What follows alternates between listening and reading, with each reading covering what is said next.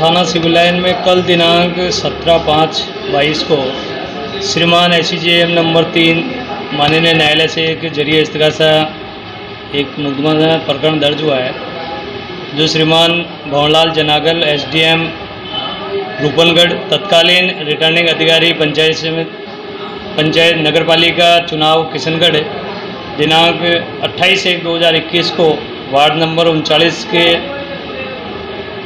चुनाव के दौरान बूथ संख्या 128 केंद्र के डी जैन स्कूल, पटवार भवन के सामने इलेक्शन के दौरान सात लोग त्रिलोक पुत्र बद्री उम्र बयालीस साल राधेश्याम पुत्र बद्री, उम्र 40 साल, पार्वती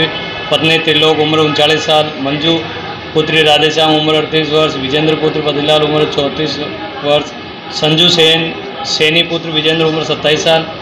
छः आदमी एक ही परिवार के तथा एक बादामी देवी, पुत्री नंदकिशोर, उम्र सैंतालीस, वार्ड नंबर उनचालीस ने उस वार्ड में नाम विलोपित होने के बावजूद उनको नोटिस देने द्वारा पाबंद कर दिया गया था कि आपका नाम इस वार्ड से काटकर दूसरे वार्ड में आपका नाम ऐड हो चुका है, जो वार्ड इकतालीस और चौवन में है। उसके बावजूद उन्होंने वार्ड उनचालीस में मतदान किया और मतदान